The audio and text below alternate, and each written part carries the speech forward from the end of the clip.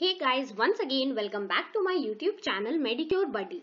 In today's video, we will be discussing a very important topic from surgery and that is benign prostatic hyperplasia. Friends, benign prostatic hyperplasia from the term itself आप ये समझ सकते हो that it is a condition of prostatic hyperplasia that means prostate glands जो हैं उनकी cell का number increase हो जा रहा है so this can be understood as a small but significant definition of benign prostatic hyperplasia. Now, let's try and understand that what exactly happens during this condition. So, first of all, here we have a diagram representing prostate gland. So, first of all, in figure 41.1, this is the actual position where the prostate gland is located. Now, this is not the case कि ये सिर्फ़ दोनों sides पे है. This is covering whole of the urethra. जो ये urethra वाला part है, ये पूरे इस चीज़ को cover कर रहा है. Now, here we have the second figure which explains about the zones. कि जो prostate gland है वो किस तरीके से present होता है. So, first of all, this what is visible is the urethra so so, ये यूरेथ्रा है।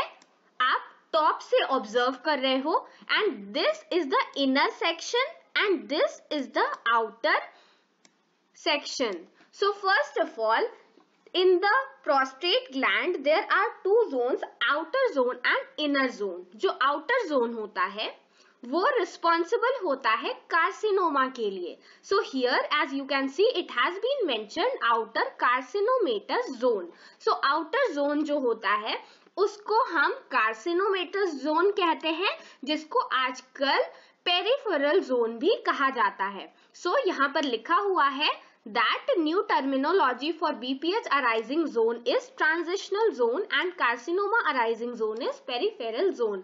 तो क्योंकि साइड में ये पेरीफेरी में प्रेजेंट है so outer zone is known as peripheral zone and the inner zone is known as transitional zone.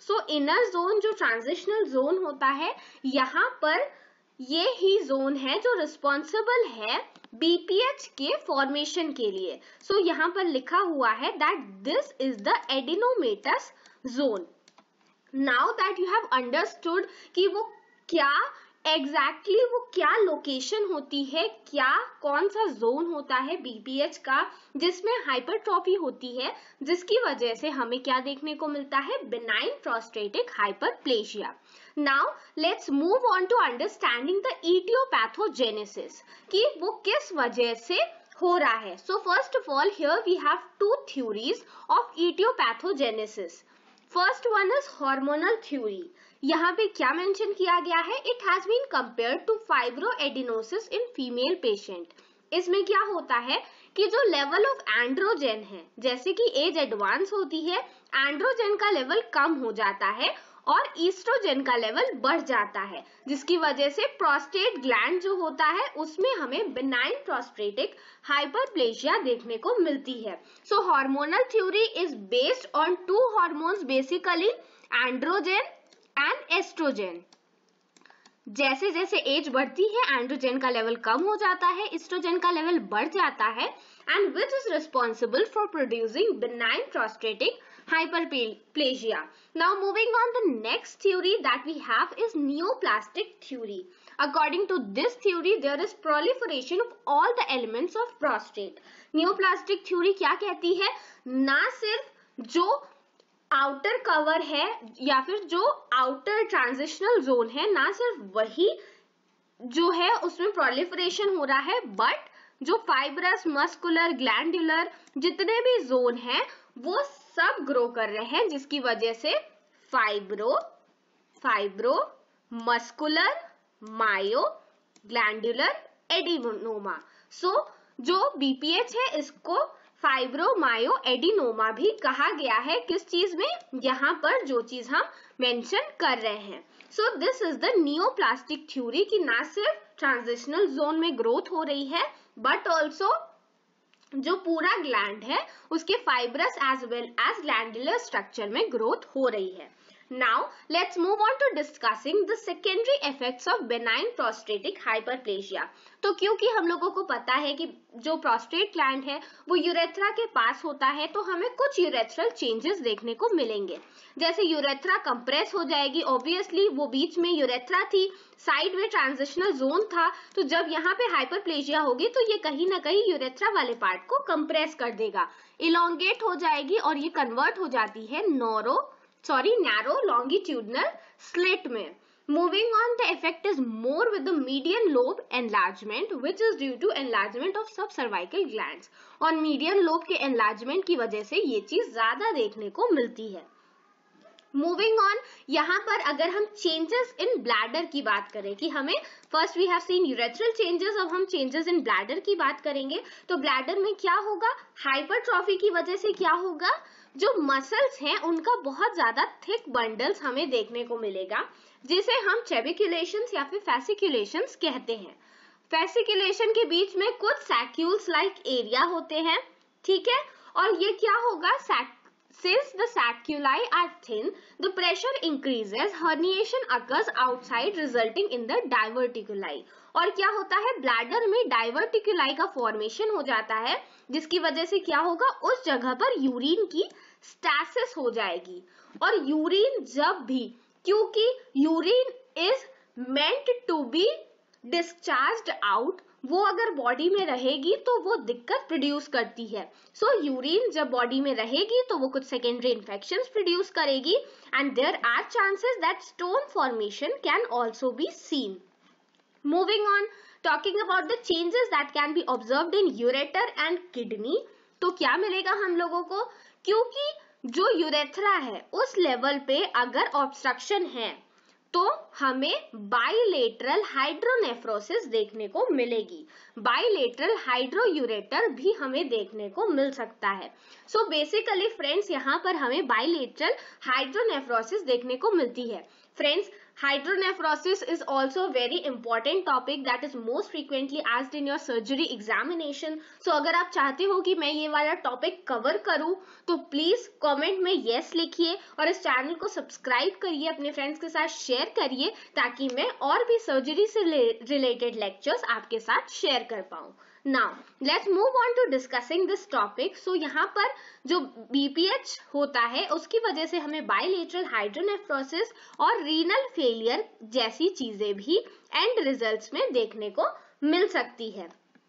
Now let's move on to understanding the clinical features कि हमें क्या क्लिनिकल फीचर्स मिलेंगे एक person में जो कि बीपीएच से सफ़र कर रहा है। So to understand the clinical features हम यहाँ पर एक की बॉक्स देखने वाले हैं, जिसमें हमें कुछ क्लिनिकल फीचर्स के बारे में मेंशन किया गया है। जो पेशेंट है, उसमें फ्रीक्वेंसी हो जाएगी, जो यूरिनेशन है, उसकी फ्रीक्वेंसी बढ़ जाती है अर्जेंसी इंक्रीज हो जाती है पर्सन जो है, उसकी यूरिन में हेजिटेंसी होगी। कई बार हमें acute and chronic retention of urine भी देखने को मिल सकता है। So these are few of the clinical features that can be observed in the cases of benign prostatic hyperplasia तो यूरिनरी सिम्टम्स जो हैं, वो सारे हमें देखने को मिलते हैं। Now we here few points are mentioned that haematuria rare हमें देखने को मिलता है। BPH acute retention of urine हमें कब देखने को मिलेगा? Following alcohol and drugs alcohol और ड्रग्स के बाद ये चीज़ें हमें देखने को मिल सकती है। और BPH with chronic retention of urine हमें देखने को मिल सकता है ब्लैडर के एनलार्जमेंट की वजह से, जो कि हमने देखा था। हाइपरट्रॉफी हो जा रही थी सैक्यूलेशन और फैसिक्यूलाई का फॉर्मेशन हो जा रहा था। Now let's move on to discussing the complication कि बीपीएच की वजह से क्या कॉम्प्लिकेशंस हमें देखने को मिलेंगे। So first of all here it has been mention that stone का फॉर्मेशन मिल सकता है। डाइवर्टिकुलाई का फॉर्मेशन हमें देखने को मिल सकता है। कई बार रीनल फेलियर जैसी प्रॉब्लम देखने को मिल सकती है। We have already seen and recurrent UTI क्योंकि यूरिन जो है उसका स्टैसिस हो रहा है so there are chances of recurrent UTI moving on to discussing the diagnosis कि हम डायग्नोसिस कैसे करेंगे। सो फ़र्स्ट ऑफ़ ऑल यहाँ पर हम एनलार्ज प्रोस्टेट को हम फील कर सकते हैं बाई डिजिटल एग्जामिनेशन से through rectum so digital rectal examination के थ्रू हमें ये बात पता चल सकती है.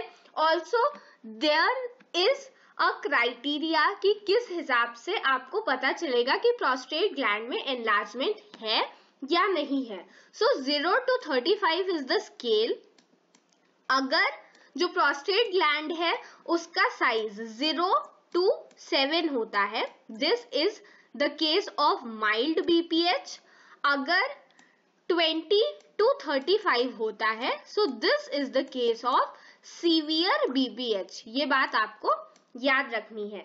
Now let's move on to discussing the investigation investigation में क्या है? क्योंकि kidney is involve ureter is involve हमें ब्लड यूरिया एंड क्रिएटिनिन का लेवल बढ़ा हुआ मिलेगा। ये हमें इंडिकेट करेगा रीनल फेलियर को। यूरोफ्लोमेट्री हम लोग चेक करेंगे, जिसकी हेल्प से हम एसेस कर पाएँगे कि जो पर्सन है, उसको यूरिन वॉइड करने में कोई दिक्कत तो नहीं हो रही है। अल्ट्रासोनोग्राम यूएसजी हम लोग यूज़ कर सकते हैं, जिससे हमें साइज़ पता चलेगा वेट पता चलेगा प्रोस्टेट का। हम ये पता कर पाएँगे कि जो रेजिड्यूअल यूरिन बच रही है, वो क्या बहुत ज़्यादा है? और अगर है तो उसकी वजह से कहीं हाइड्रोनेफ्रोसिस या फिर ब्लैडर वॉल में कुछ चेंजेस जैसे कि हाइपरट्रॉफी फैसिकुलेशन का फॉर्मेशन तो नहीं दिख रहा है। Now let's move on to discussing the treatment कि हम इसका ट्रीटमेंट कैसे करेंगे? So first of all medical treatment के लिए बेसिकली ये जो पैराग्राफ है, ये मैंने पढ़ा हुआ है, ये एग्जैक्टली exactly ये बात एक्सप्लेन करने की कोशिश कर रहा है दैट जो पर्सन है, उसको यूरिन पोस्टपोन नहीं करना चाहिए। अगर फ्रीक्वेंसी यूरिनेशन की बढ़ रही है स्टिल उसको यूरिन वॉइड करते रहना चाहिए बिकॉज़ अगर यूरिन की स्टैसिस होगी तो हम सबको पता है दैट यूरिन जब भी बॉडी में अक्यूमुलेट होती है, वो रिस्पॉन्सिबल हो जाती है स्टोन फॉर्मेशन के लिए। वो हाइड्रोनेफ्रोसिस कॉज करेगी और जिसकी वजह से बहुत सारी दूसरी प्रॉब्लम्स जैसे रीनल फेलियर तक हो सकता है। तो पर्सन को हमें एडवाइस करना है दैट वो पोस्टपोन ना करे मिक्चुरेशन को। ऑल्सो हैवी अल्कोहल कंजम्पशन जो है, वो पेशेंट को नहीं लेना चाहिए, जिसकी वजह से प्रॉब्लम बढ़ सकती है।